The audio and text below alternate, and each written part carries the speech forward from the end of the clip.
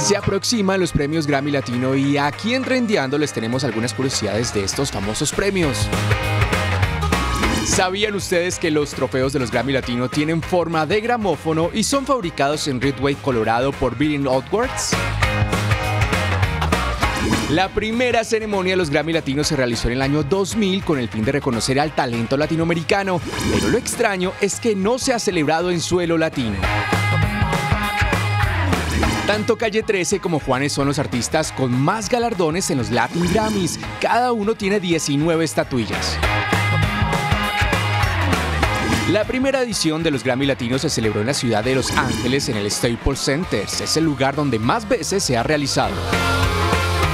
Por su parte, Shakira es la mujer que se ha llevado más premiaciones con 10 gramófonos. Julieta Venegas la sigue con 5 estatuillas.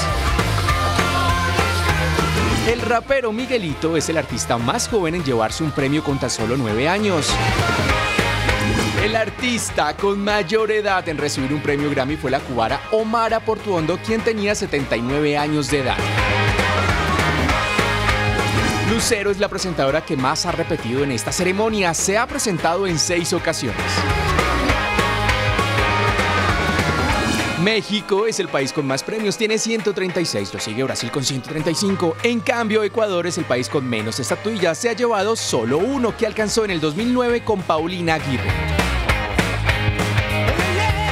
Y Cristina Aguilera ha sido la cantante estadounidense en recibir un primer Latin Grammy. Para terminar algunas de estas curiosidades, este año el actor mexicano Jaime Camil y la actriz puertorriqueña Roselyn Sánchez serán los encargados de animar la edición número 18 de los Grammy Latino.